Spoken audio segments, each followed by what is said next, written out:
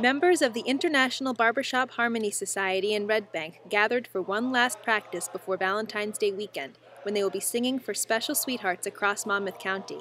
The effort will raise funds for their organization.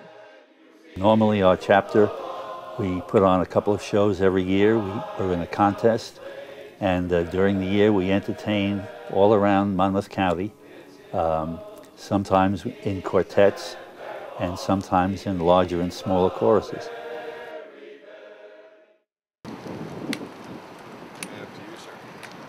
This is the first Valentine they'll deliver in song. It's in West Belmar.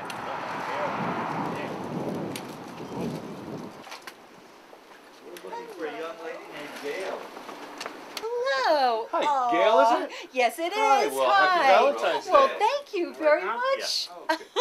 Yeah, there's a rose for you. Thank you.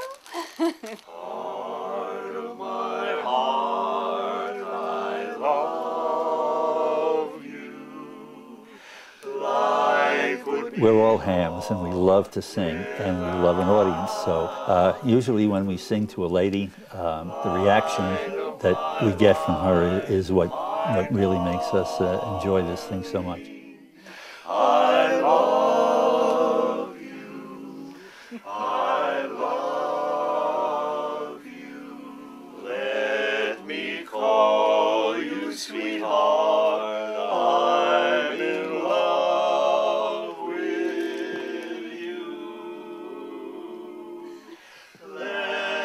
Richard Cook arranged to have the quartet today for his beloved wife, Gail. that you love me too. He loved me.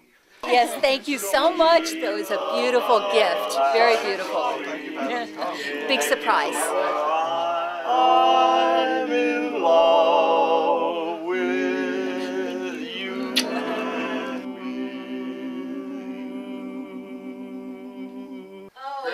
Beautiful. Very, beautiful. very nice.